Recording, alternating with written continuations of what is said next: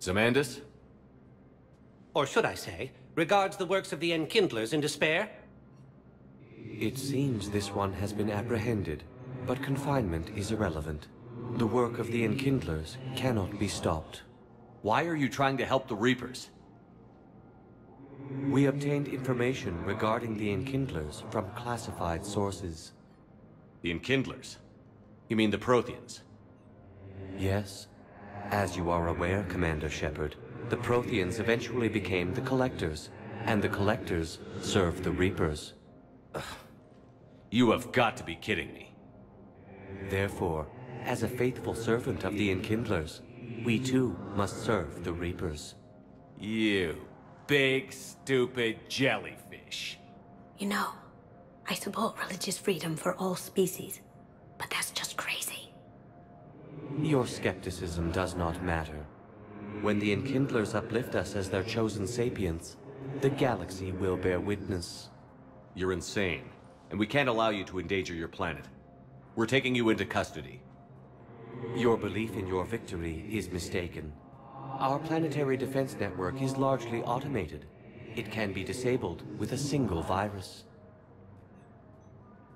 Which I have just uploaded. Damn it. Wait.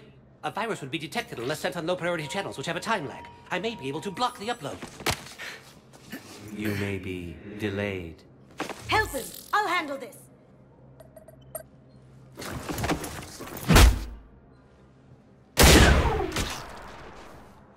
Got it. Upload's disabled.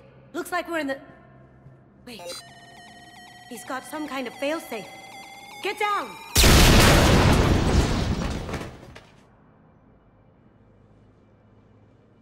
She was here the entire time. She was an old friend. I intended to arrest her. She helped me take down the Collectors. And she just gave her life to save the Hanar homeworld. Point taken. It was an honor to work with you, Shepard. When the time comes, I'll be there to return the favor. With a few friends.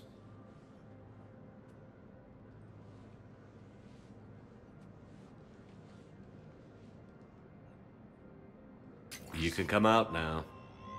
How'd you know? Lucky guess.